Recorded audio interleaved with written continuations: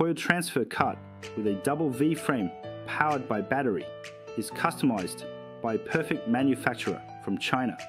The maximum load is 30T, trackless design, battery operated, remote control system, alarm, and anti collision system design. Please contact us by WhatsApp for your handling solution.